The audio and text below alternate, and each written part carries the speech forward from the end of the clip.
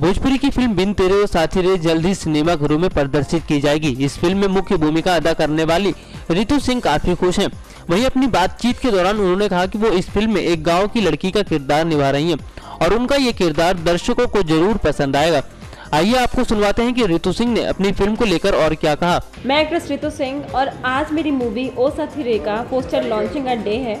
आप देख सकते हैं कि पोस्टर आज आज हम रिवील कर रहे हैं मार्केट और लॉन्चिंग है बहुत अच्छा शुभ दिन है। आज मकर संक्रांति के पर्व पर भी मैं अपने दर्शकों को बहुत ढेर सारी शुभकामनाएँ देती हूँ और मैं चाहती हूँ कि आपका आशीर्वाद हमारी इस मूवी को ज़रूर मिले। किस तरह का आपका किरदार है? थोड़े फ़िल्म के बारे में कुछ बताइए।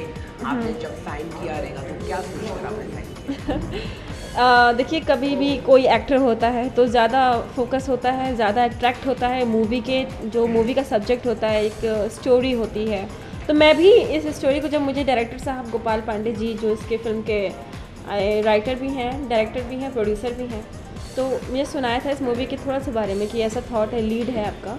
एंड एक लव स्टोरी मूवी है ये तो थोड़ा सा लव स्टोरी के साथ साथ एक और शेड है, जो एक लड़की है बहुत नॉर्मल सी लड़की है, गाँव की लड़की है।